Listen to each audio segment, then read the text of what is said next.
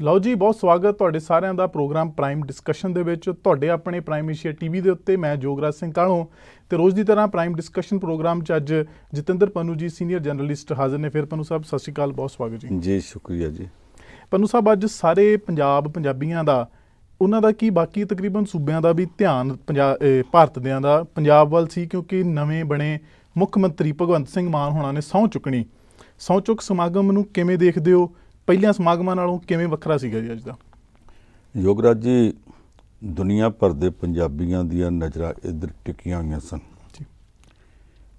ਕੁਝ ਤੜਕੇ ਉੱਠ ਕੇ ਬੈਠ ਗਏ ਸਨ ਯੂਰਪ ਵਾਲੇ। ਉਹਨਾਂ ਨੂੰ ਇਹ ਸੀ ਕਿ ਮਿੱਥੇ ਸਮੇਂ ਤੇ 12 ਵਜੇ ਸੌਂ ਚੁੱਕਣੀ ਆ। ਅਸੀਂ ਲੇਟ ਨਾ ਹੋ ਜਾਈਏ। ਕੁਝ ਜਿਹੜੇ ਪੱਛਮੀ ਦੇਸ਼ਾਂ ਵਾਲੇ ਅਮਰੀਕਾ ਕੈਨੇਡਾ ਵਾਲੇ ਉਹ ਅੱਧੀ ਰਾਤ ਤੋਂ ਵੀ ਬਾਅਦ ਤੱਕ ਡਿੱਗਦੇ ਰਹੇ ਤੜਕੇ ਤੱਕ ਡਿੱਗਦੇ ਰਹੇ ਕਿ ਅਸੀਂ ਸੌਂ ਚੁੱਕਦਿਆਂ ਨੂੰ ਵੇਖ ਕੇ ਸੌਣਾ। ਜੀ। ਲੋਕਾਂ ਦੇ ਮਨ ਵਿੱਚ ਉਤਸੁਕਤਾ ਸ਼ੁਭ ਇੱਛਾ ਦੀ ਇਹ ਭਾਵਨਾ ਕਿੰਨੀ ਸੀ ਕਿ ਹਰ ਕੋਈ ਵੇਖਣਾ ਚਾਹੁੰਦਾ ਸੀ। ਪ੍ਰੋਗਰਾਮ ਲੇਟ ਹੋ ਰਿਹਾ ਸੀ। ਇਹ ਤਾਂ ਹੁਣ ਬਾਅਦ ਚ ਪਤਾ ਲੱਗਾ ਕਿ ਉਸ ਇਲਾਕੇ 'ਚ ਇੱਕ ਤਾਂ ਧੁੰਦ ਪੈ ਗਈ ਤੇ ਉਸ ਧੁੰਦ ਦਾ ਕਰਕੇ ਅਚਾਨਕ ਧੁੰਦ ਪੈ ਗਈ ਨਹੀਂ ਤੇ ਇਹਨਾਂ ਦਿਨਾਂ 'ਚ ਪੈਂਦੀ ਨਹੀਂ। ਜੀ। ਹੈਲੀਕਾਪਟਰ ਵੀ ਲੇਟ ਹੋਏ ਫਲਾਈਟਸ ਵੀ ਲੇਟ ਹੋਈਆਂ। ਤੇ ਦੂਸਰੀ ਗੱਲ ਇਹ ਸੀ ਕਿ ਆਨੰਦਪੁਰ ਸਾਹਿਬ ਨੂੰ ਸੰਗਤ ਜਾ ਰਹੀ ਹੈ। ਉਹਨਾਂ ਦੀਆਂ ਗੱਡੀਆਂ ਤੇ ਇੱਥੇ ਖਟਕੜ ਕਲਾਂ ਦੇ ਵਿੱਚ ਭਗਵੰਤ ਮਾਨ ਦੇ ਸਹੁੰ ਚੁੱਕ ਸਮਾਗਮ ਵਿੱਚ ਆਉਣ ਵਾਲੀਆਂ ਗੱਡੀਆਂ। ਸੜਕਾਂ ਤੇ ਇੰਨਾ ਰਸ਼ ਪੈ ਗਿਆ ਕਿ ਜਾਮ ਲੱਗਣ ਦੀ ਸਥਿਤੀ ਸੀ। ਜੀ। ਪਿੰਡਾਂ ਵਿੱਚ ਸਾਡੇ ਇੱਕ ਰਵਾਇਤ ਹੈ ਕਿ ਅਨੰਦਪੁਰ ਸਾਹਿਬ ਹੋਲੇ ਮਹੱਲੇ ਤੇ ਜਾਂਦੀ ਸੰਗਤ ਵਾਸਤੇ ਲੰਗਰ ਲਾਏ ਜਾਂਦੇ ਹਰ ਪਿੰਡ ਲੰਗਰ ਲਾਉਣਾ ਚਾਹੁੰਦਾ ਤੇ ਹਰ ਪਿੰਡ ਹਰ ਕਿਸੇ ਨੂੰ ਜਾਂਦੇ ਨੂੰ ਛਕਾਉਣਾ ਚਾਹੁੰਦਾ। ਉੱਥੇ ਲੱਕੜਾਂ ਸੁੱਟ ਕੇ ਰਸਤੇ ਬੰਦ ਕੀਤੇ ਦੇ ਵਿੱਚੋਂ ਦੀ ਆਸੇ-ਪਾਸੇ ਜਦੋਂ ਇੱਕ ਗੱਡੀ ਅੱਗੇ ਉੱਥ- ਹੋ ਕੇ ਰੋਕਦੇ ਹੱਥ ਜੋੜ ਕੇ ਸਿੰਘ ਸਾਹਿਬ ਸਾਰੀ ਸਾਧ ਸੰਗਤ ਜੀ ਸਾਡੀ ਬੇਨਤੀ ਹੈ ਤੁਸੀਂ ਪ੍ਰਸ਼ਾਦਾ ਛਕ ਕੇ ਜਾਓ। ਉਹਨੇ ਚਿਰ ਨੂੰ ਪਿਛੇ 200 ਗੱਡੀਆਂ ਲੱਗ ਜਾਂਦੀਆਂ।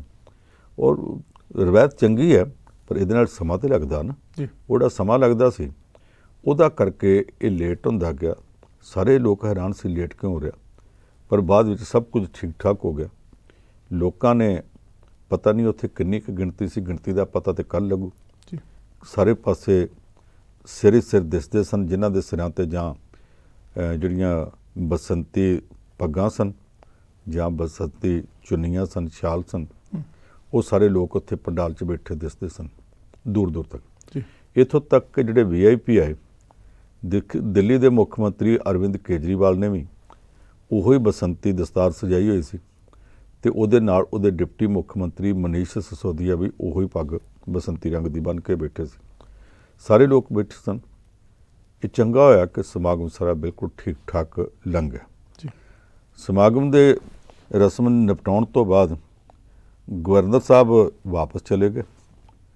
ਇਹਦੇ ਤੋਂ ਬਾਅਦ ਫਿਰ ਮੌਕੇ ਦੇ ਮੁੱਖ ਮੰਤਰੀ ਕੋਲ ਥੋੜਾ ਸਮਾਂ ਹੁੰਦਾ ਕਿ ਆਏ ਲੋਕਾਂ ਨੂੰ ਸੰਬੋਧਨ ਕਰ ਸਕੇ। ਉਸ ਸੰਬੋਧਨ 'ਚ ਭਗਵੰਤ ਮਾਨ ਨੇ ਆਖਿਆ ਕਿ ਤੁਸੀਂ ਸ਼ਹੀਦਾਂ ਦੀ ਧਰਤੀ ਤੇ ਬੈਠੇ ਹੋ। ਸ਼ਹੀਦ ਭਗਤ ਸਿੰਘ ਦਾ ਨਗਰ। ਤੁਸੀਂ ਇੱਥੇ ਆਏ ਹੋ। ਮੈਂ ਇੱਥੇ ਆਇਆ ਹੀ ਇਸ ਕਰਕੇ ਆ ਕਿਉਂਕਿ ਸ਼ਹੀਦ ਭਗਤ ਸਿੰਘ ਵੱਖਰੀ ਸੋਚ ਦਾ ਰਹਿਬਰ ਸੀ ਸਾਡਾ। ਜੀ। ਉਹਨੇ ਜੋ ਕੁਝ ਆਖਿਆ ਸੀ ਕਿ ਭਾਰਤ ਇਸ ਤਰ੍ਹਾਂ ਦਾ ਹੋਣਾ ਚਾਹੀਦਾ। ਉਹ ਜਿਹਾ ਅਜੇ ਤੱਕ ਬਣ ਨਹੀਂ ਸਕਿਆ। ਭਾਰਤ ਨਹੀਂ ਬਣ ਸਕਿਆ ਪੰਜਾਬ ਨਹੀਂ ਬਣ ਸਕਿਆ। ਅਸੀਂ ਉਹ ਜਿਹਾ ਬਣਾਵਾਂਗੇ। ਭਗਤ ਸਿੰਘ ਨੇ ਤੇ ਦੂਸਰਿਆਂ ਨੇ ਉਹਨਾਂ ਦੇ ਸਾਥੀਆਂ ਨੇ ਸ਼ਹੀਦਾਂ ਨੇ ਅੰਗਰੇਜ਼ਾਂ ਨੂੰ ਕੱਢਣ ਵਾਸਤੇ ਕੁਰਬਾਨੀਆਂ ਦਿੱਤੀਆਂ ਸਨ। ਪਰ ਭਾਰਤ ਇਸ ਨਿੱਗਰ ਦੀ ਹਾਲਤ ਨੂੰ ਪਹੁੰਚ ਗਿਆ ਕਿ ਸਾਡੇ ਨੌਜਵਾਨ ਅੱਜ ਉਹਨਾਂ ਅੰਗਰੇਜ਼ਾਂ ਦੇ ਦੇਸ਼ਾਂ ਵੱਲ ਜਾ ਰਹੇ ਨੇ। ਅਸੀਂ ਆਪਣੇ ਇਸ ਭਾਰਤ ਨੂੰ ਆਪਣੇ ਇਸ ਪੰਜਾਬ ਨੂੰ ਇੰਨਾ ਕੁ ਖੂਬਸੂਰਤ ਬਣਾਵਾਂਗੇ ਕਿ ਸਾਡੇ ਬੱਚਿਆਂ ਨੂੰ ਬਾਹਰ ਨਾ ਭੱਜਣਾ ਪਵੇ। ਉਹ ਇੱਥੇ ਟਿਕ ਕੇ ਆਪਣੀ ਧਰਤੀ ਦੀ ਸੇਵਾ ਕਰ ਸਕਣ। ਜਿਹੜੇ ਢੰਗ ਨਾਲ ਉਹਨੇ ਆਪਣਾ ਸੁਨੇਹਾ ਦਿੱਤਾ ਜਿੱਦਾਂ ਉਹਨੇ ਸਾਧ ਮੁਰਾਦੀਆਂ ਦੀਆਂ ਗੱਲਾਂ ਕੀਤੀਆਂ, ਕਿਉਂਕਿ ਬੁਨਿਆਦੀ ਤੌਰ ਤੇ ਉਹ ਇੱਕ ਕਲਾਕਾਰ ਹੈ। ਬਹੁਤੇ ਲੋਕਾਂ ਨੂੰ ਪਤਾ ਨਹੀਂ ਕਿ ਸਕੂਲ ਦੇ ਵਿੱਚ ਜਿਹੜੀ ਸਨਿਚਰਵਾਰ ਨੂੰ ਬਾਲ ਸਭਾ ਹੁੰਦੀ ਸੀ, ਇਹ ਉਹਦੇ ਵਿੱਚ ਪ੍ਰੋਗਰਾਮ ਕਰਦਾ ਹੁੰਦਾ ਸੀ। ਬਚਪਨ ਵਿੱਚ ਹੀ ਮੁਕਾਬਲਿਆਂ 'ਚ ਲੱਗ ਗਿਆ। ਕਾਲਜ ਟਾਈਮ ਦੇ ਉੱਤੇ ਵੀ ਬਹੁਤ ਸੋਹਣਾ ਗਾਉਂਦਾ ਵੀ ਸੀ, ਬਹੁਤ ਸੋਹਣੇ ਸਕਿੱਟ ਵੀ ਪੇਸ਼ ਕਰਦਾ ਸੀ। ਪੜ੍ਹਦਿਆਂ ਪੜ੍ਹਦੇ ਹੀ ਇੱਕ ਕਮੇਡੀਅਨ ਬਣ ਗਿਆ, ਕਲਾਕਾਰ ਬਣ ਗਿਆ ਤੇ ਹੌਲੀ ਹੌਲੀ ਕਲਾਕਾਰ ਦੇ ਤੌਰ ਤੇ ਦੁਨੀਆ ਭਰ 'ਚ ਪੰਜਾਬੀਆਂ ਇਕੱਲਿਆਂ 'ਚ ਹੀ ਨਹੀਂ ਹਿੰਦੀ ਵਾਲਿਆਂ ਦੇ ਵਿੱਚ ਵੀ ਇੱਕ ਇਹੋ ਜਿਹੀ ਥਾਂ ਬਣਾ ਗਿਆ ਕਿ ਜਦੋਂ ਹਿੰਦੀ ਦੇ ਕਿਸੇ ਸ਼ੋਅ ਦੇ ਵਿੱਚ ਆਪਣੀ ਕਮੇਡੀ ਪੇਸ਼ ਕਰਦਾ ਸੀ ਉਦੋਂ ਵੀ ਲੋਕ ਹੈਰਾਨ ਰਹਿ ਜਾਂਦੇ ਸਨ। ਹੁਣ ਅੱਜ ਜਿਸ ਤਰ੍ਹਾਂ ਉਹਨੇ ਆਪਣੇ ਵਿਚਾਰ ਪ੍ਰਗਟ ਕੀਤੇ ਆ ਲੋਕਾਂ ਦੇ ਉੱਤੇ ਜਿਸ ਤਰ੍ਹਾਂ ਦਾ ਅਸਰ ਹੈ ਉਹ ਆਪਣੇ ਆਪ 'ਚ ਵਿਲੱਖਣ ਸੀ। ਘੱਟੋ ਘੱਟ ਮੈਂ ਇਹੋ ਜਿਹਾ ਸਹੁੰ ਚੁੱਕ ਸਮਾਗਮ ਅੱਗੇ ਕਦੇ ਨਹੀਂ ਵੇਖਿਆ। ਜੀ। ਪੰਨੂ ਸਾਹਿਬ ਭਗਵੰਤ ਮਾਨ ਹੋਣਾ ਨੇ ਜਿੱਥੇ ਇਸ ਵਾਰੀ ਸਹੁੰ ਚੁੱਕੀ ਉੱਥੇ ਜਦੋਂ ਅਸੀਂ ਇਤਿਹਾਸ ਵੱਲ ਝਾਤੀ ਮਾਰਦੇ ਹਾਂ ਜੀ। ਪਿਛਲੇ ਹੋਰ ਵੀ ਪੰਜਾਬ ਦੇ ਮੁੱਖ ਮੰਤਰੀ ਆਪ ਦੀ ਸਹੁੰ ਚੁੱਕਦੇ ਰਹੇ ਆ। ਜੇ ਅਸੀਂ ਮੁੱਖ ਤੌਰ ਤੇ ਹਰਮਨ ਪਿਆਰਤਾ ਦੀ ਗੱਲ ਕਰਨਾ ਹੋਏ ਲੀਡਰ ਦੀ ਹਰਮਨ ਪਿਆਰਤਾ ਦੀ ਉਹ ਕਿੰਨਾ ਕੁ ਫ਼ਰਕ ਨਜ਼ਰ ਆਉਂਦਾ ਜੀ ਪਿੱਛੇ ਜਦੋਂ ਝਾਤੀ ਮਾਰੀ ਦੀ ਆ? ਦੇਖੋ ਮੈਂ ਅੱਜ ਸਵੇਰੇ ਨਾ ਅਚਾਨਕ ਇਹ ਵੇਖਣਾ ਸ਼ੁਰੂ ਕੀਤਾ ਕਿ ਜਿਹੜੇ ਮੁੱਖ ਮੰਤਰੀ ਬਣਨ ਦੇ ਦਾਅਵੇਦਾਰ ਉਮੀਦਵਾਰ ਦੇ ਤੌਰ ਤੇ ਫੇਸ ਦੇ ਤੌਰ ਤੇ ਲੋਕਾਂ ਸਾਹਮਣੇ ਪੇਸ਼ ਹੋਏ ਜੀ। ਉਹ ਕਿੰਨੇ ਕਿੰਨੇ ਮਾਰਜਨ ਨਾਲ ਜਿੱਤਦੇ ਰਹੇ। ਹੂੰ। ਪ੍ਰਤਾਪ ਸਿੰਘ ਕੈਰੋ ਨੇ ਇੱਕ ਚੋਣ 1299 ਵੋਟਾਂ ਦੇ ਫ਼ਰਕ ਨਾਲ ਜਿੱਤੀ। ਅੱਛਾ ਇੱਕ ਚੋਣ ਉਹਨੇ 10885 ਵੋਟਾਂ ਦੇ ਫ਼ਰਕ ਨਾਲ ਜਿੱਤੀ। ਤੀਸਰੀ ਤੇ ਆਖਰੀ ਚੋਣ ਉਹਨੇ ਜਿੱਤੀ ਕਿ ਨਹੀਂ ਜਿੱਤੀ ਸਰਕਾਰੀ ਰਿਕਾਰਡ ਕਹਿੰਦਾ ਕਿ 34 ਵੋਟਾਂ ਤੇ ਜਿੱਤੀ। ਅੱਛਾ ਪਰ ਇਲਾਕੇ ਦੇ ਲੋਕ ਉਹਦੇ ਬਾਰੇ ਕਈ ਕਿਸਮ ਦੀਆਂ ਗੱਲਾਂ ਕਰਦੇ ਆ ਕਿ ਜਿੱਤੀ ਨਹੀਂ ਜਿੱਤੀ ਡਿਕਲੇਅਰ ਕੀਤੀ ਗਈ ਸੀ। ਮੈਨੂੰ ਨਹੀਂ ਪਤਾ ਸੱਚ ਕੀ ਹੈ ਕਿਉਂਕਿ ਉਦੋਂ ਅਸੀਂ ਬੱਚੇ ਸਾਂ। ਉਹਦੇ ਤੋਂ ਬਾਅਦ ਮੁੱਖ ਮੰਤਰੀ ਦੇ ਉਮੀਦਵਾਰ ਦੇ ਤੌਰ ਤੇ ਅਕਾਲੀ ਪਾਰਟੀ ਨੇ ਪੇਸ਼ ਕੀਤਾ ਜਸਟਿਸ ਗੁਰਨਾਮ ਸਿੰਘ ਨੂੰ ਉਹ 5454 ਵੋਟਾਂ ਦੇ ਫ਼ਰਕ ਨਾਲ ਜਿੱਤੇ ਸਨ। ਇਹ ਤੋਂ ਗ੍ਰਾਫ ਦਾ ਪਤਾ ਲੱਗ ਜਾਂਦਾ। ਤੀਸਰੇ ਮੁੱਖ ਮੰਤਰੀ ਪ੍ਰਕਾਸ਼ ਸਿੰਘ ਬਾਦਲ ਸੀ। ਉਹਨਾਂ ਨੇ ਇੱਕ ਚੋਣ 11207 ਦੇ ਫ਼ਰਕ ਨਾਲ ਜਿੱਤੀ ਇੱਕ 14000 ਦੇ ਫ਼ਰਕ ਨਾਲ ਜਿੱਤੀ ਇੱਕ 28700 ਦੇ ਫ਼ਰਕ ਨਾਲ ਜਿੱਤੀ ਇੱਕ 11000 ਦੇ ਫ਼ਰਕ ਨਾਲ ਜਿੱਤੀ। ਉਦੋਂ ਦੋਵਾਂ ਥਾਵਾਂ ਤੋਂ ਕਿਲਾ ਰਾਏਪੁਰ ਤੇ ਲੰਬੀ ਤੋਂ ਇਕੱਠੀ ਜਿੱਤੀ ਸੀ। ਜੀ। ਇੱਕ ਉਹਨਾਂ 9000 ਦੇ ਫ਼ਰਕ ਨਾਲ ਜਿੱਤੀ ਇੱਕ 24000 ਦੇ ਫ਼ਰਕ ਨਾਲ ਹਾਰੀ। ਤੇ ਇੱਕ ਹੁਣ 11500 ਦੇ ਨੇੜੇ ਤੇੜੇ ਹਾਰੀ ਹੈ ਉਹ ਜਿਹੜੀਆਂ ਅੱਗੇ ਨੇ 9000 ਤੇ 24000 ਦੇ ਫ਼ਰਕ ਨਾਲ ਜਿੱਤੀਆਂ ਜਿੱਤੀ, ਸੀ। ਜੀ। ਉਹ ਜਿੱਤੀਆਂ ਸਾਰੀਆਂ। ਆਖੀਰਲੀ 11396 ਨਾਲ ਹਾਰੀ ਹੈ ਜੀ। ਇਹਨਾਂ ਤੋਂ ਬਾਅਦ ਦਰਬਾਰਾ ਸਿੰਘ ਆਏ। ਵਿਚਾਲੇ ਗਿਆਨੀ ਜੈਲ ਸਿੰਘ ਸੀ। ਜੀ। ਉਹਨੇ ਆਨੰਦਪੁਰ ਸਾਹਿਬ ਤੋਂ ਚੋਣ ਜਿੱਤੀ ਸੀ ਸਿਰਫ 6200 ਵੋਟਾਂ ਦੇ ਫ਼ਰਕ ਨਾਲ। ਅੱਛਾ ਦਰਬਾਰਾ ਸਿੰਘ ਨੇ ਇਹ ਦੋਵੇਂ ਥੋੜੇ ਫ਼ਰਕ ਨਾਲ। ਸਰਜੀਤ ਸਿੰਘ ਬਰਨਾਲਾ ਨੇ 10500 ਦੇ ਫ਼ਰਕ ਨਾਲ 10600 ਦੇ ਫ਼ਰਕ ਨਾਲ। ਜੀ। ਬੇਅੰਤ ਸਿੰਘ ਉਹਦੇ ਵਾਲੀ ਚੋਣ ਨੂੰ ਤੇ ਚੋਣ ਹੀ ਨਹੀਂ ਗਣਨਾ ਚਾਹੀਦਾ। ਵੈਸੇ 10000 ਤੋਂ ਵੱਧ ਦੇ ਫ਼ਰਕ ਨਾਲ ਜਲੰਧਰ ਕੈਂਟ ਤੋਂ ਜਿੱਤਿਆ ਸੀ। ਅਮਰਿੰਦਰ ਸਿੰਘ ਨੇ ਦੋ ਚੋਣਾਂ ਲੜੀਆਂ ਤੇ ਜਿੱਤੀਆਂ। ਇੱਕ 33000 ਦੇ ਫ਼ਰਕ ਨਾਲ ਇੱਕ 55000 ਦੇ ਫ਼ਰਕ ਨਾਲ। ਜੀ। ਭਗਵੰਤ ਮਾਨ ਪਹਿਲਾ ਜਿਨੇ ਇਹਨਾਂ ਸਾਰਿਆਂ ਤੋਂ ਵੱਧ ਜਿਹੜੀ ਇਹ ਚੋਣ ਜਿੱਤੀ ਹੈ 58206 ਵੋਟਾਂ ਦੇ ਫ਼ਰਕ ਨਾਲ ਜਿੱਤੀ ਹੈ। ਇੱਕ ਪੱਖ ਤਾਂ ਇਹ ਹੈ। ਜੀ। ਦੂਸਰਾ ਪੱਖ ਇਹ ਹੈ ਕਿ ਇਹਨੇ ਸਾਢੇ 58206 ਦੇ ਫ਼ਰਕ ਨਾਲ ਜਿੱਤੀ ਹੈ। ਦੂਸਰੇ ਨੰਬਰ ਤੇ ਅਮਰਿੰਦਰ ਸਿੰਘ ਹੈ ਜਿਨੇ ਦੋਵੇਂ ਚੋਣਾਂ 55000 ਤੇ 33000 ਦੇ ਫ਼ਰਕ ਨਾਲ ਜਿੱਤੀਆਂ। ਜੀ। ਤੀਸਰੇ ਨੰਬਰ ਤੇ ਪ੍ਰਕਾਸ਼ ਸਿੰਘ ਬਾਦਲ 28000 ਤੇ 24000 ਨਾਲ ਜਿੱਤੀਆਂ ਨੇ। ਪਰ ਭਗਵੰਤ ਮਾਨ ਦਾ ਟਰੈਕ ਰਿਕਾਰਡ ਇੱਥੋਂ ਸ਼ੁਰੂ ਨਹੀਂ ਹੁੰਦਾ। ਉਹਨੇ ਪਹਿਲੀ ਲੋਕ ਸਭਾ ਚੋਣ 2014 ਚ ਜਿੱਤੀ। 211721 ਵੋਟਾਂ ਦੇ ਫ਼ਰਕ ਨਾਲ ਜੀ। ਪੰਜਾਬ 'ਚੋਂ ਸਭ ਤੋਂ ਵੱਡਾ ਮਾਰਜਨ ਇਹਦਾ ਸੀ। ਦੂਸਰੀ ਚੋਣ ਇਹਨੇ ਜਿੱਤੀ 110000 ਦੇ ਫ਼ਰਕ ਨਾਲ। ਜੀ। ਇਹ 2019 ਚ ਜਿੱਤੀ ਹੈ। ਜਿਹੜੀਆਂ ਅਸੈਂਬਲੀ ਚੋਣਾਂ ਇਹਨੇ ਪੀਪਲਸ ਪਾਰਟੀ ਆਫ ਪੰਜਾਬ ਤੋਂ ਮਨਪ੍ਰੀਤ ਸਿੰਘ ਬਾਦਲ ਨਾਲ ਮਿਲ ਕੇ ਤੇ ਮੁਹਿੰਮ ਸ਼ੁਰੂ ਕੀਤੀ ਸੀ। ਪਹਿਲੀ ਚੋਣ ਇਹ ਹਾਰ ਗਿਆ ਸ਼ਾਇਦ ਜਿਵੇਂ ਭੁੱਲਦਾ ਨਹੀਂ ਤੇ ਲਹਿਰਾ ਗਾਗਾ ਸੀਟ ਸੀ ਉਥੋਂ 18500 ਵੋਟਾਂ ਨਾਲ ਹਾਰਿਆ। ਜਿਹੜੀ ਦੂਸਰੀ ਜਲਾਲਾਬਾਦ ਸੀ ਉਥੋਂ ਵੀ ਇੰਨੇ ਕੁ ਨਾਲ ਹਾਰਿਆ। ਪਰ ਫ਼ਰਕ ਇਹ ਪੈ ਗਿਆ ਕਿ ਲਹਿਰੇ ਗਾਗੇ ਚ ਇਹਨੂੰ 26000 ਵੋਟਾਂ ਸੀ। ਜਲਾਲਾਬਾਦ ਵਿੱਚ ਜਾ ਕੇ 56000 ਵੋਟਾਂ ਪੈ ਗਈਆਂ।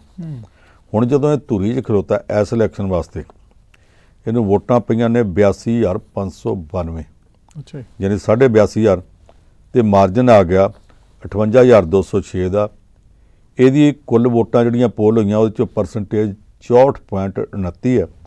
ਤੇ ਜਿਹੜਾ ਦੂਸਰੇ ਨੰਬਰ ਤੇ ਆਇਆ ਉਹਦੀ 19% ਹੈ। ਜੀ। ਬਹੁਤ ਵੱਡੇ ਫ਼ਰਕ ਨਾਲ ਲੋਕਾਂ ਦੀ ਪਪੂਲੈਰਿਟੀ ਦਾ ਫਤਵਾ ਲੈ ਕੇ ਇਹ ਤੱਕ ਹੈ। ਤੁਸੀਂ ਕਹੋਗੇ ਕਿ ਇਹਦੇ ਦਰਮਿਆਨ ਹਰਚਰਨ ਸਿੰਘ ਬਰਾੜ ਬੀਬੀ ਰਜਿੰਦਰ ਕੌਰ ਭੱਠਲ ਜੀ। ਗਿਆਨੀ ਗੁਰਮੁਖ ਸਿੰਘ ਮੁਸਾਫਰ ਜੀ। ਰਾਮ ਕਿਸ਼ਨ ਤੇ ਚਰਨਜੀਤ ਸਿੰਘ ਚੰਨੀ ਇਹ ਵੀ ਮੁੱਖ ਮੰਤਰੀ ਬਣੇ ਇਹਨਾਂ ਦਾ ਜ਼ਿਕਰ ਕਿਉਂ ਨਹੀਂ ਕੀਤਾ? ਇਹ ਬਣੇ ਸਨ ਪਰ ਅੱਧ ਵਿਚਾਲਿਓਂ ਬਣੇ ਸਨ। ਇਹ ਚੋਣਾਂ ਦੇ ਵਿੱਚ ਅਗਵਾਈ ਕਰਕੇ ਸੀਐਮ ਫੇਸ ਦੇ ਤੌਰ ਤੇ ਮੁੱਖ ਮੰਤਰੀ ਅਹੁਦੇ ਦੇ ਉਮੀਦਵਾਰ ਦੇ ਤੌਰ ਤੇ ਪੇਸ਼ ਹੋ ਕੇ ਨਹੀਂ ਸੀ ਜਿੱਤੇ। ਇਹਨਾਂ ਤੇ ਬਾਅਦ ਚ ਪਾਰਟੀ ਦੀ ਟੁੱਟ ਭੱਜ ਗੁੱਟਬੰਦੀ ਦਾ ਕਰਕੇ ਇੱਕ ਨੂੰ ਲਾਤਾ ਦੂਸਰੇ ਨੂੰ ਬਿਠਾਤਾ ਉਸ ਚੱਕਰ ਵਿੱਚ ਬਣਾਇਆ ਗਿਆ ਸੀ।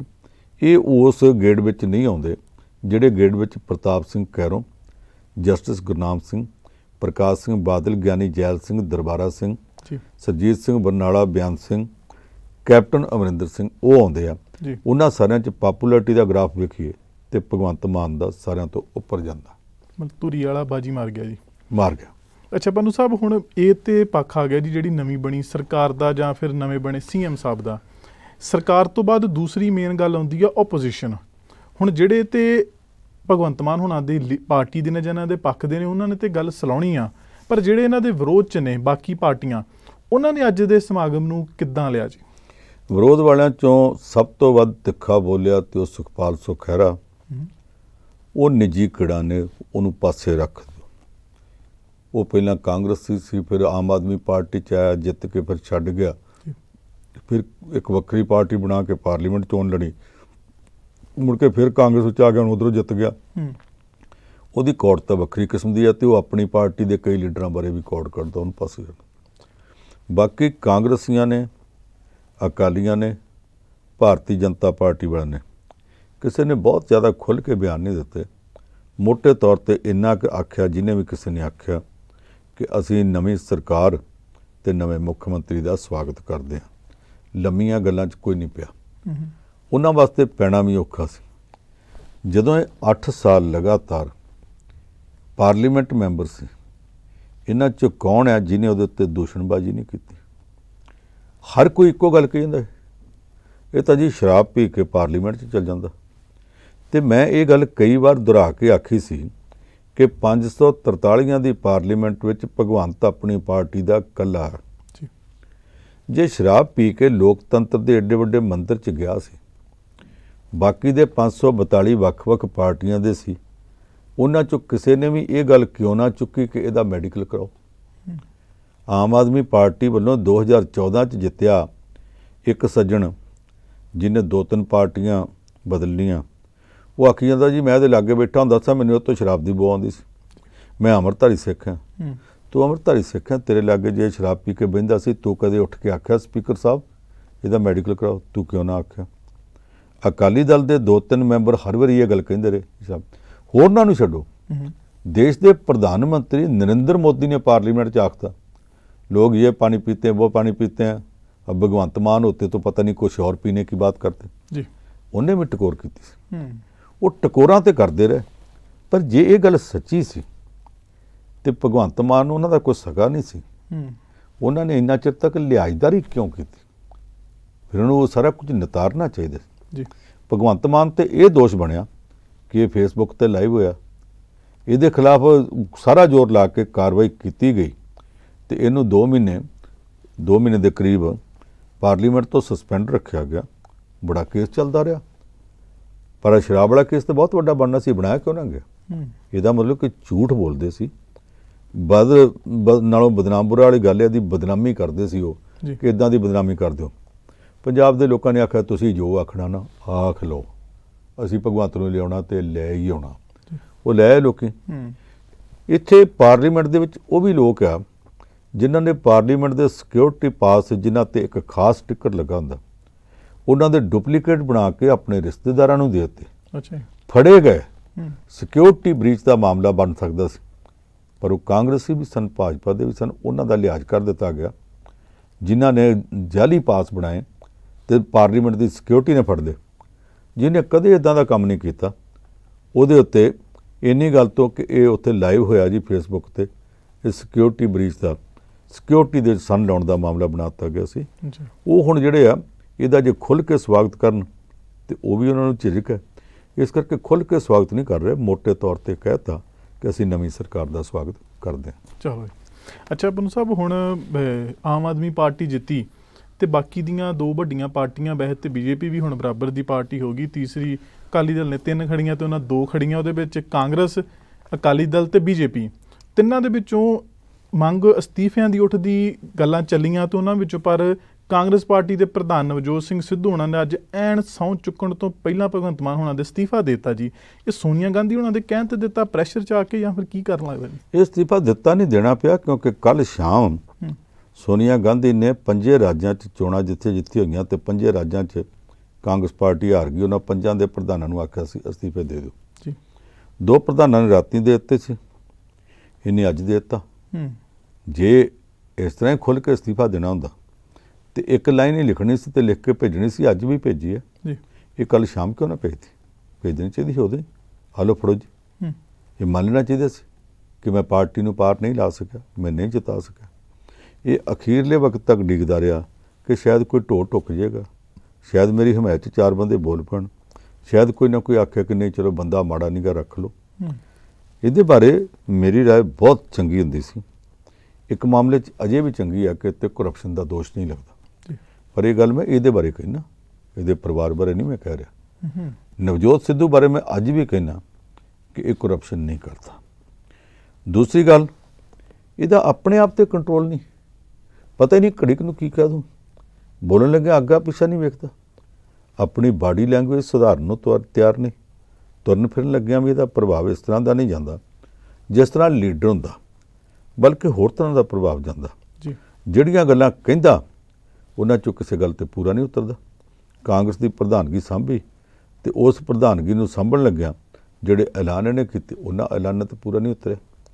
ਫਿਰ ਮੁੜ ਮੁੜ ਕੇ ਆਪਣੀ ਪਾਰਟੀ ਦੇ ਖਿਲਾਫ ਬਿਆਨਬਾਜ਼ੀ ਕਰਨ ਲੱਗਾ ਰਿਹਾ। ਜੀ। ਪੰਜਾਬ ਦਾ ਪ੍ਰਧਾਨ ਸੀ। ਸਾਰੇ ਪੰਜਾਬ ਦੇ ਕਿਸੇ ਹਲਕੇ 'ਚ ਚੋਣ ਪ੍ਰਚਾਰ ਵਾਸਤੇ ਨਹੀਂ ਸੀ ਜਾਂਦਾ। ਇੱਕ ਥਾਂ ਤੇ ਗਿਆ ਤੇ ਕਾਂਗਰਸ ਦੀ ਜਨਰਲ ਸੈਕਟਰੀ ਪ੍ਰਿਯੰਕਾ ਗਾਂਧੀ ਬੈਠੀ। ਸਟੇਜ ਤੋਂ ਅਨਾਉਂਸ ਕਰਤਾ ਪ੍ਰਧਾਨ ਜੀ ਬੋਲਣਗੇ ਨਵਜੋਤ ਸਿੰਘ ਸਿੱਧੂ ਸਾਡਾ ਬੱਬਰ ਸ਼ੇਰ। ਤੇ ਬੱਬਰ ਸ਼ੇਰ ਉੱਠ ਕੇ ਕਹਿੰਦਾ ਮੈਂ ਨਹੀਂ ਬੋਲਣਾ ਬੋਲਣਾ। ਪ੍ਰਿਯੰਕਾ ਗਾਂਧੀ ਨੂੰ ਬੁਲਾ ਲਓ। ਇਹ ਜਿਹੜਾ ਉਹਦਾ ਵਿਹਾਰ ਸੀਗਾ ਜੀ। ਜਿੰਨਾ ਡਿਸਪਲਿਨ ਤੋੜ ਕੇ ਤੇ ਆਪ ਮੁਹਾਰਾ ਉਹ ਵਗਦਾ ਸੀ ਇਹ ਕਿਸੇ ਵੀ ਪਾਰਟੀ 'ਚ ਹੋਵੇ ਤੇ ਇਹਨੂੰ ਬਰਦਾਸ਼ਤ ਨਹੀਂ ਕੀਤਾ ਜਾ ਸਕਦਾ। ਇੱਕ ਮੌਕਾ ਸੀ ਜਦੋਂ ਭਾਰਤੀ ਜਨਤਾ ਪਾਰਟੀ ਇਹਨੂੰ ਸਟਾਰ ਕੰਪੇਨਰ ਦੇ ਤੌਰ ਤੇ ਚੋਣ ਮੁਹਿੰਮਾਂ ਵਾਸਤੇ ਪੰਜਾਬ ਤੋਂ ਬਾਹਰ ਸਾਰੇ ਭਾਰਤ 'ਚ ਲੀਡਰ ਰੱਖਣਾ ਚਾਹੁੰਦੀ ਸੀ। ਜੀ। ਇੱਕ ਅੱਧੀ ਵਾਰੀ ਹੋਰ ਹੁੰਦਾ ਤੇ ਸੈਂਟਰ ਦਾ ਮੰਤਰੀ ਬਣ ਜਾਂਦਾ। ਇਹਨੇ ਜਿਸ ਤਰ੍ਹਾਂ ਦਾ ਵਿਹਾਰ ਉੱਥੇ ਕੀਤਾ ਉਹਨਾਂ ਨੇ ਵੀ ਇਹਨੂੰ ਪਾਸੇ ਕਰਤਾ। ਇੱਕ ਵਾਰੀ ਇਹ ਬਿਗ ਬਾਸ ਦੇ ਵਿੱਚ ਸੀ। ਇਹਨੂੰ ਸੁਨੇਹਾ ਗਿਆ ਗੁਜਰਾਤ ਦੇ ਮੁੱਖ ਮੰਤਰੀ ਨਰਿੰਦਰ ਮੋਦੀ ਦਾ ਚੋਣਾਂ 'ਚ ਤੇਰੀ ਲੋੜ ਆ। ਪੱਟ ਤੇ ਥਾਪੀ ਮਾਰ ਕੇ ਬਿਗ ਬਾਸ ਛੱਡ ਕੇ ਆ ਗਿਆ ਕਹਿੰਦਾ ਮੈਂ ਨਹੀਂ ਮੈਂ ਉੱਥੇ ਜਾਣਾ। ਮੇਰੀ ਲੋੜ ਆ। ਜੀ। ਇੱਥੇ ਆ ਕੇ ਇੱਕੋ ਤਕਰੀਰ ਕੀਤੀ। ਕੀਤੀ ਸਾਬਕਾ ਮੁੱਖ ਮੰਤਰੀ ਪਟੇਲ ਦੇ ਖਿਲਾਫ ਜਿਹੜਾ ਪਹਿਲਾਂ ਭਾਜਪਾ ਦਾ ਮੁੱਖ ਮੰਤਰੀ ਸੀ ਤੇ ਫਿਰ ਵੱਖਰਾ ਹੋ ਕੇ ਭਾਜਪਾ ਦੇ ਖਿਲਾਫ ਲੜਦਾ ਪਿਆ ਸੀ। ਉਸ ਇੱਕੋ ਤਕਰੀਰ 'ਚ ਇਹਨੇ ਪਟੇਲ ਭਾਈਚਾਰੇ ਬਾਰੇ ਕੁਝ ਕਹਿਤਾ ਨਰਿੰਦਰ ਮੋਦੀ ਦਾ ਸੁਨੇਹਾ ਆਇਆ ਕਿ ਇਹਨੂੰ ਕਹੋ ਹੁਣ ਜਾ ਕੇ ਭਾਜਪਾ ਦਫ਼ਤਰ 'ਚ ਬਹਿ ਜੇ ਤੂੰ ਕਿਸੇ ਰੈਲੀ 'ਚ ਨਹੀਂ ਬੋਲਣਾ। ਇਹਦਾ ਮੈਂ ਬੋਲਣ ਲੱਗਿਆ ਜ਼ੁਬਾਨ ਤੇ ਕੰਟਰੋਲ ਹੀ ਹੈ ਨਹੀਂ। ਅੱਜ ਜਿਹੜੀਆਂ ਚੋਣਾਂ ਦੇ ਵਿੱਚ 2019 ਚ ਪ੍ਰਧਾਨ ਮੰਤਰੀ ਨਰਿੰਦਰ ਮੋਦੀ ਦੂਸਰੀ ਵਾਰੀ ਪ੍ਰਧਾਨ ਮੰਤਰੀ ਬਣਿਆ। ਜੀ। ਸਾਰੇ ਭਾਰਤ ਵਿੱਚ ਬੜੀ ਵਧੀਆ ਕੰਪੇਨ ਕੀਤੀ। ਚੰਗੀ ਮੁਹਿੰਮ ਚਲਾਈ ਬਹੁਤ ਸੋਹਣਾ ਚੱਲਿਆ। ਜਦੋਂ ਅਖੀਰਲਾ ਦਿਨ ਸੀ ਆ ਕੇ ਲੰਬੀ ਹਲਕੇ 'ਚ ਬੋਲਿਆ ਤੇ ਬਾਦਲਾਂ ਦੇ ਤੇ ਅਮਰਿੰਦਰ ਸਿੰਘ ਦੇ ਰਿਸ਼ਤੇ ਨੂੰ ਜੋੜ ਕੇ ਜਿਹੜੀਆਂ ਗੱਲਾਂ ਕਰ ਦਿੱਤੀਆਂ। ਜੋ ਕੁਝ ਬੋਲਿਆ ਉਸ ਤੋਂ ਬਾਅਦ ਅਕਾਲੀ ਖੁਸ਼ ਹੋ ਗਏ ਕਿ ਸ਼ੁਕਰ ਹੈ ਸਿੱਧੂ ਨੇ ਸਾਡਾ ਕੰਮ ਕਰਤਾ। ਤੇ ਅਮਰਿੰਦਰ ਸੋਰੀ ਨਾਰਾਜ਼ ਹੋ ਗਏ। ਇਹਦਾ ਕਰਕੇ ਹੁਣ ਕਿਸੇ ਗਿਣਤੀ 'ਚ ਨਹੀਂ ਅਸਤੀਫਾ ਤਾਂ ਦੇਣਾ ਪੈਣਾ ਸੀ। ਅੱਛਾ ਪਨੂ ਸਾਹਿਬ ਇੱਕ ਮਸਲਾ ਜਿਹੜਾ ਐਨ ਵੋਟਾਂ ਤੋਂ ਪਹਿਲਾਂ ਆਇਆ ਪੂਰੇ ਭਾਰਤ ਵਿੱਚ ਇਸ ਮਸਲੇ ਦੀ ਚਰ- ਚਰਚਾ ਛਿੜੀ ਉਹ ਹਿਜਾਬ ਦਾ ਮਸਲਾ ਜੀ। ਹੁਣ ਉਹਦੇ ਉੱਤੇ ਹਾਈ ਕੋਰਟ ਦੇ ਵੱਲੋਂ ਜੋ ਆਪਣਾ ਡਿਸੀਜਨ ਆਇਆ ਤੇ ਮਸਲਾ ਹੁਣ ਸੁਪਰੀਮ ਕੋਰਟ 'ਚ ਪਹੁੰਚਿਆ ਜੀ ਇਹ ਸਾਰੇ ਕੁਝ ਨੂੰ ਕਿਦਾਂ ਦੇਖੀਏ ਜੀ? ਮੈਂ ਸਮਝਦਾ ਕਿ ਹਾਈ ਕੋਰਟ ਦਾ ਜਿਹੜਾ ਫੈਸਲਾ ਉਹ ਕੋਈ ਫਾਈਨਲ ਨਹੀਂ ਗਾ ਅੰਤਮ ਫੈਸਲਾ ਨਹੀਂ। ਉਹਦੇ ਨਾਲ ਮਤਭੇਦ ਰੱਖਣ ਦਾ ਸਾਨੂੰ ਹੱਕ ਹੈ। ਅਸੀਂ ਅੱਗੇ ਵੀ ਕਈ ਫੈਸਲਿਆਂ ਤੇ ਮਤਭੇਦ ਰੱਖਦੇ ਨੇ। ਪਿਛਲੇ ਸਾਲ ਕੋਟਕਪੂਰਾ ਕੇਸ ਦੇ ਉੱਤੇ ਕੁੰਵਰ ਵਿਜੇ ਪ੍ਰਤਾਪ ਸਿੰਘ ਦੀ ਰਿਪੋਰਟ ਨੂੰ ਜਿਸ ਤਰ੍ਹਾਂ ਪੰਜਾਬ ਹਰਿਆਣਾ ਹਾਈ ਕੋਰਟ ਨੇ ਰੱਦ ਕੀਤਾ ਸੀ ਅਸੀਂ ਉੱਤੇ ਵੀ ਮਤਭੇਦ ਰੱਖੇ ਸੀ ਮੈਂ ਅੱਜ ਵੀ ਮਤਭੇਦ ਰੱਖਦਾ। ਮੈਂ ਕਹਿੰਦਾ ਫੈਸਲਾ ਠੀਕ ਨਹੀਂ ਸੀ। ਉਹਨੂੰ ਕਈ ਬੰਦੇ ਚੁਣੌਤੀ ਦਿੰਦੇ ਪਏ। ਜਦੋਂ ਜਸਟਿਸ ਰੰਜਨ ਗੋਗੋਈ ਨੇ ਅਯੁੱਧਿਆ ਬਾਰੇ ਫੈਸਲਾ ਦਿੱਤਾ ਸੀ ਰਾਫੇਲ ਬਾਰੇ ਦਿੱਤਾ ਸੀ ਅਸੀਂ ਉਹਨੂੰ ਵੀ ਆਖਿਆ ਸੀ ਗਲਤ। ਸੁਪਰੀਮ ਕੋਰਟ ਦੇ ਫੈਸਲਿਆਂ ਨੂੰ ਵੀ ਅਸੀਂ ਕਈਆਂ ਮਾਮਲਿਆਂ 'ਚ ਟਿਕਾ ਟਿੱਪਣੀ ਦਾ ਸ਼ਿਕਾਰ ਬਣਾਉਂਦੇ ਨੇ ਹੁਣ ਕਰਨਾਟਕਾ ਹਾਈ ਕੋਰਟ ਨੇ ਜੋ ਕੁਝ ਆਖਿਆ ਉਹ ਕਹਿੰਦੇ ਹਿਜਾਬ ਤਾਂ ਜੀ ਇਹ ਯੂਨੀਫਾਰਮ ਦਾ ਹਿੱਸਾ ਨਹੀਂ ਇਸ ਕਰਕੇ ਕੁੜੀਆਂ ਨਹੀਂ ਪਹਿਨ ਸਕਦੀਆਂ। ਇਹ ਤੁਸੀਂ ਅੱਜ ਉਹਨਾਂ ਬਾਰੇ ਆਖੋਗੇ? ਕਿ ਇਹਦੇ ਨਾਲ ਮਤਲਬ ਧਾਰਮਿਕ ਪੱਖੋਂ ਕੁੜੀਆਂ ਆਪਣੇ ਆਪ ਨੂੰ ਸ਼ੋਅ ਕਰਦੀਆਂ। ਇਹ ਯੂਨੀਫਾਰਮ ਦਾ ਹਿੱਸਾ ਨਹੀਂ। ਸਿੱਖ ਕੁੜੀਆਂ ਵੀ ਸਿਰ ਦਸਤਾਰ ਸਜਾਉਂਦੀਆਂ ਕੁਝ ਤੁਸੀਂ ਕੱਲ ਨੂੰ ਉਹਨਾਂ ਤੇ ਪਾਬੰਦੀ ਲਾਓਗੇ। ਇੱਕਦਾਂ ਲਵਾ ਸਕਦੇ ਹੋ। ਕੱਲ ਤੁਸੀਂ ਖੜੇ ਤੇ ਪਾਬੰਦੀ ਲਾਓਗੇ। ਕਦੇ ਕਿਸੇ ਨੇ ਇਹ ਵੀ ਆਖਿਆ ਕਿ ਤੁਸੀਂ ਇੱਥੇ ਸੰਧੂਰ ਨਹੀਂ ਪਾ ਕੇ ਆਉਣਾ ਉਹਦੇ ਨਾਲ ਵਖਰੇਵਾ ਸ਼ੋਅ ਹੁੰਦਾ। ਕਦੇ ਕਿਸੇ ਨੇ ਇਹ ਭਾਰਤ ਹੈ ਜਿਹਦੇ ਵਿੱਚ ਲੋਕੀ ਪੂਰੀ ਤਰ੍ਹਾਂ ਆਪਣੇ ਆਪ ਨੂੰ ਢੱਕ ਕੇ ਵੀ ਤੁਰਦੇ ਆ। ਇਸੇ ਭਾਰਤ ਦੇ ਵਿੱਚ ਕੁਝ ਲੋਕ ਨੰਗੇ ਵੀ ਤੁਰਨਾ ਆਪਣਾ ਹੱਕ ਸਮਝਦੇ ਆ। ਉਹ ਕੁਦਰਤੀ ਤੌਰ ਤੇ ਆਪਣੇ ਆਪ ਨੂੰ ਸਾਧੂ ਕਹਿੰਦੇ ਆ ਉਹ ਕਹਿੰਦੇ ਅਸੀਂ ਜਿਸ ਤਰ੍ਹਾਂ ਆਏ ਦੁਨੀਆ ਤੇ। ਉਸੇ ਤਰ੍ਹਾਂ ਜਾਣਾ ਅਸੀਂ ਨਹੀਂ ਕੱਪੜਾ ਪਾਉਣਾ। ਜੇ ਇੱਥੇ ਇੰਨੀਆਂ ਖੁੱਲਾਂ ਦਿੱਤੀਆਂ ਜਾ ਸਕਦੀਆਂ ਤੇ ਇੱਕ ਧਰਮ ਦੇ ਬੱਚੇ ਜੇ ਹਿਜਾਬ ਪਾਉਣਾ ਚਾਹੁੰਦੇ ਆ ਖਾਸ ਤੌਰ ਤੇ ਲੜਕੀਆਂ ਉਹਨਾਂ ਨੂੰ ਇਸ ਤਰ੍ਹਾਂ ਰੋਕਿਆ ਨਹੀਂ ਜਾਣਾ ਚਾਹੀਦਾ। ਪਹਿਲਾਂ ਤੇ ਜਿਹੜੇ ਕਾਲਜਾਂ ਨੇ ਜਿਹੜੇ ਵਿਦਿਅਕ ਅਦਾਰਿਆਂ ਨੇ ਕਿਸੇ ਇੱਕ ਸਿਆਸੀ ਪਾਰਟੀ ਜਾਂ ਕਿਸੇ ਇੱਕ ਵਿਚਾਰਧਾਰਾ ਵਾਲੀ ਕਿਸੇ ਸੰਸਥਾ ਦੇ ਕਹਿਣ ਤੇ ਇਹੋ ਜਿਹਾ ਕੰਮ ਕੀਤਾ ਉਹਨਾਂ ਨੇ ਠੀਕ ਨਹੀਂ ਕੀਤਾ। ਇਹਦੇ ਨਾਲ ਭਾਰਤ ਵਿੱਚ ਮਤਭੇਦ ਵਧਣਗੇ ਡਿਸਟੈਂਸ ਵਧੇਗਾ ਪਾੜਾ ਵਧੇਗਾ। ਜੀ। ਅੱਗੋਂ ਜਿਹੜਾ ਹਾਈ ਕੋਰਟ 'ਚ ਕੇਸ ਗਿਆ ਜੱਜ ਸਾਹਿਬਾਨ ਦਾ ਫੈਸਲਾ ਅੱਗੇ ਵੀ ਹਾਈ ਕੋਰਟਾਂ ਦੇ ਕਈ ਫੈਸਲੇ ਜਾ ਕੇ ਸੁਪਰੀਮ ਕੋਰਟ 'ਚ ਪਲਟਦੇ ਰਹੇ। ਜੀ। ਮੈਂ ਹੁਣ ਵੀ ਕਹਿੰਦਾ ਪਲਟਣਗੇ ਔਰ ਉਹ ਪਲਟਣਗੇ ਤੇ ਇਸ ਕਰਕੇ ਮੈਨੂੰ ਇਹ ਪਤਾ ਕਿ ਇਹ ਫੈਸਲਾ ਹੋ ਸਕਦਾ ਸੁਪਰੀਮ ਕੋਰਟ ਨਾ ਵੀ ਪਲਟੇ ਪਰ ਜੇ ਸੁਪਰੀਮ ਕੋਰਟ ਨਹੀਂ ਵੀ ਪਲਟਦੀ ਤਾਂ ਵੀ ਡੈਮੋਕ੍ਰੇਸੀ ਆ। ਸਾਨੂੰ ਉਸ ਫੈਸਲੇ ਨਾਲ ਸਹਿਮਤ ਹੋਣ ਦਾ ਵੀ ਹੱਕ ਹੈ। ਉਹਦੇ ਨਾਲ ਵਿਰੋਧਤਾ ਦਾ ਵੀ ਹੱਕ ਹੈ। ਅਸਦੁੱਦੀਨ ਵੈਸੀ ਨੇ ਕੱਲ੍ਹ ਹੀ ਕਹਿਤਾ ਮੈਂ ਨਹੀਂ ਉਹਦੇ ਨਾਲ ਸਹਿਮਤ। ਜਿੱਦਾਂ ਉਹ ਕਹਿਣ ਡਿਆ ਇਹਦਾ ਕਈ ਹੋਰ ਲੋਕ ਵੀ ਕਹਿਣਗੇ। ਅੱਗੇ ਵੀ ਸੁਪਰੀਮ ਕੋਰਟ ਦੇਸ਼ ਦੀ ਸਭ ਤੋਂ ਵੱਡੀ ਅਦਾਲਤ ਹੈ। ਉਹਦੇ ਫੈਸਲਿਆਂ ਤੇ ਵੀ ਟਿਕਾ ਟਿੱਪਣੀ ਹੁੰਦੀ ਰਹੀ ਹੈ। ਸ਼ਾਹਬਾਨੋ ਕੇਸ 1985 ਚ ਹੋ ਗਿਆ ਸੀ। ਉਦੋਂ ਤੋਂ ਟਿਕਾ ਟਿੱਪਣੀਆਂ ਹੁੰਦੀਆਂ ਆਈਆਂ। ਹੁਣ ਵੀ ਹੋ ਸਕਦੀਆਂ। ਮੈਂ ਸਮਝਦਾ ਕਿ ਕੱਲ ਦਾ ਕਰਨਾਟਕਾ ਹਾਈ ਕੋਰਟ ਦਾ ਫੈਸਲਾ ਠੀਕ ਨਹੀਂ ਇਹਦੇ ਨਾਲ ਭਾਰਤ ਨੂੰ ਫਾਇਦਾ ਨਹੀਂ ਹੋਣਾ ਨੁਕਸਾਨ ਹੋਏਗਾ। ਠੀਕ ਹੈ ਜੀ। ਪੰਨ ਸਾਹਿਬ ਤੁਹਾਡਾ ਬਹੁਤ ਧੰਨਵਾਦ ਜੀ। ਤੁਸੀਂ ਸਮਾਂ ਕੱਢ ਕੇ ਖਬਰਾਂ ਸਾਂਝ ਪਾਈ ਜੀ। ਮਿਹਰਬਾਨੀ। ਸਤਿ ਸ਼੍ਰੀ ਅਕਾਲ। ਸੋ ਅੱਜ ਦੇ ਇਸ ਪ੍ਰੋਗਰਾਮ ਪ੍ਰਾਈਮ ਡਿਸਕਸ਼ਨ ਚ ਇੰਨਾ ਜੀ। ਜੋਗਰਾਜ ਸਿੰਘ ਕਾਲੂ ਨੂੰ ਦਿਓ ਆਗਿਆ। ਦੇਖਦੇ ਰਹੋ ਪ੍ਰਾਈਮ ਏਸ਼ੀਆ ਟੀਵੀ ਤੁਹਾਡਾ ਆਪਣਾ ਤੁਹਾਡੇ ਲਈ।